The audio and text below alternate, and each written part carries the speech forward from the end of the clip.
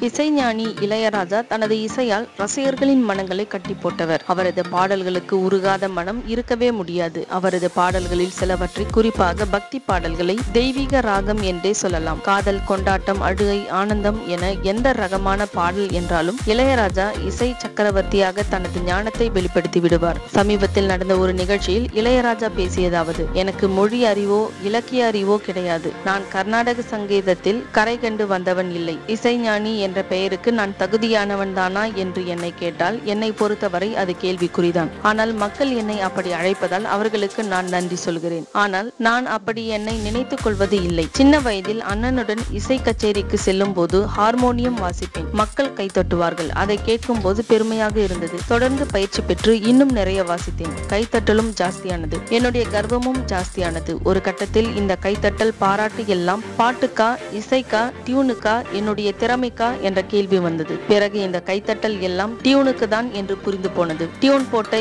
எம்எஸ்பிக்கு தான் அந்த பெருமை என புரிந்தது. அதனால் எனக்கும் அதற்கும் சம்பந்தம் இல்லை என்று நினைத்ததால் என் கர்வம் மொத்தமும் தலையிலிருந்து இறங்கிவிட்டது. என் கர்ப்பத்திலிருந்து அப்போதே வெளியே வந்து விட்டேன் என்று கூறியிருக்கிறார் இளையராஜா. இந்த வீடியோ உங்களுக்கு பிடிச்சிருந்தா லைக் பண்ணுங்க ஷேர் பண்ணுங்க கமெண்ட் பண்ணுங்க. மறக்காம நம்ம சேனலை சப்ஸ்கிரைப் பண்ணுங்க.